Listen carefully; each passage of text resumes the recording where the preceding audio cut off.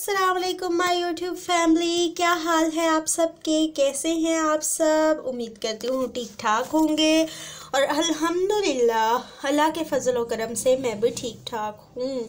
जी तो my YouTube fans, आप सबके कमेंट्स करने का, बताने का बहुत शुक्रिया कि मैंने कौन सी चीज़ महँगी ली है या कौन सी चीज़ सस्ती ली है या आपको वो चीज़ जो मैं लाई हूँ और उसका रिव्यू दिया है आपको वो चीज़ कितने की पड़ी है और कितने की मुझे लेनी चाहिए थी। ठीक हो गया? उन तमाम देखने वालों का सब्सक्राइब करने वालों का कमेंट करने वालों का मैं तहे दिल से दिल की गहराइयों से शुक्रिया अदा करती हूँ। सो so, आज मैं वीडियो लेकर आई हूँ असमा डॉल के तमाम प्रोडक्ट्स पे जो कि मैंने बाई किए थे। और उनका रिव्यू आज मैं देने जा रही हूँ। लास्ट टाइम भी मैंने रिव्यू दिया था लेकिन आज जो उनके पाउडर है ना सारे जितने भी पाउडर हैं जो स्किन पॉलिश में यूज़ होते हैं और डिफरेंट स्किन हर एक इंसान की स्किन अलग होती है स्किन टोन अलग होते हैं और स्किन के कलर स्किन के प्रॉब्लम्स भी अलग होते हैं। सो so, अस्मा डोल जितनी स्किन के प्रॉब्लम और मसाइल होते हैं उनके अकॉर्डिंग जो वो ब्लीच पाउडर यूज़ करती हैं। तो आज मैं उसके बारे में बताने जा रही हूँ कि कौन सा पाउडर आपने किस तरह यूज़ करना है और किस चीज़ के लिए आपने यूज़ करना है।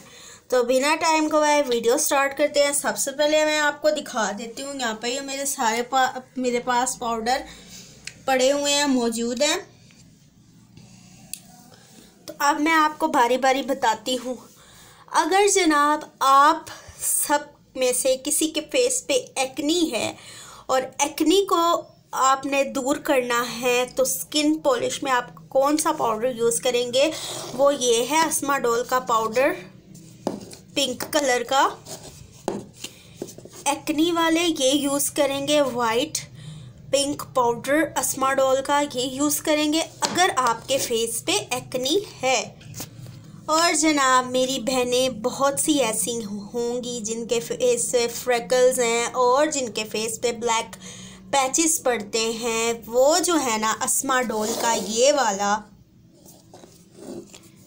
ये वाला ज़ाफ़रानी पाउडर ये वाला पाउडर यूज़ करेंगी जिनके फेस पे फ्रेकल और ब्लैक पैसेस हैं।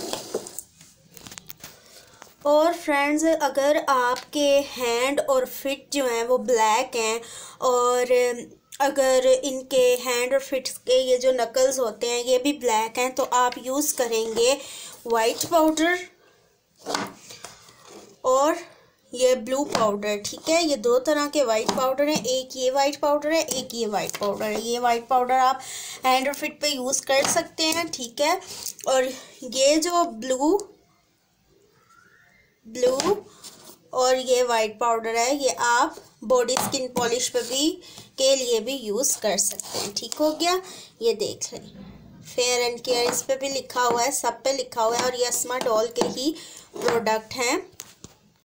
और जनाब, मेरी बहनें, अगर आपकी स्किन डेड है और ड्राई है और आपको स्किन को रिपेयर करना है और अच्छा बनाना है स्किन को तो जनाब, आप अस्मा डोल का ये वाला जो पाउडर है whitening gold powder urgent powder urgent whitening gold powder है। आप ये यूज़ करें अगर तो आपने स्किन को रिपेयर करना है और जो है डेड स्किन को रिमूव करना है। जी तो जनाब, मैं आपसे यही कहना चाहूँगी कि आप अपनी स्किन के प्रॉब्लम के हिसाब से अपने स्किन के से रिलेटेड जो भी डील लेना चाहते हैं, वो आप देख देख के लिया करें, ताकि जो आपकी स्किन की प्रॉब्लम है, वो हल हो सके। और मैंने जो फिल वक्त मंगवाए थे, और जो जो स्किन के लिए यूज़ किए जाते हैं, वो मैं आपको साथ साथ बता भी दिया है, और आपको मैं दिखा भी रही हूँ। ठीक हो गया फ्रेंड सही है। सो so, आप इसी तरह मंगवाए डील बाकी ऑनेस्ट रिव्यू देती हूँ मैं आपको तो असमा डोल के प्रोडक्ट बहुत बहुत बहुत अच्छे हैं। बिल्कुल जिस तरह वो दिखाती हैं उसी तरह बिल्कुल अच्छे हैं लेकिन एक बात ध्यान में रखिएगा जिस तरह वो यूज़ करती हैं ना जिस तरह वो तरीका बताती हैं आपने उसी तरह यूज़ करना है तो आपको उसी तरह रिज़ल्ट मिलेगा। और एक बात, एक और चीज़ आपके साथ में असमा डोल की शेयर करती हूँ। वेट करें, मैं आपको दिखाती हूँ। जी फ्रेंड्स ये वाइटनिंग के हाइड्रा फेस सीरम है, ये भी असमा डोल के ही हैं। और बहुत ब्यूटीफुल पैकेजिंग है इनकी। ये देखें। इस डील में ये दो सीरम भी मौजूद थे। मैं आपको खोल के दिखाती हूँ इनको। लेकिन याद रहे एक्नी वाला सीरम आपने एक्नी वाली स्किन पॉलिश में डालना है गोल्ड सीरम आपने गोल्ड वाले में डालना है वाइटनिंग वाला आपने वाइटनिंग वाले में डालना है ये आपने अपने जहन में बात रखनी है ओके गाइस तो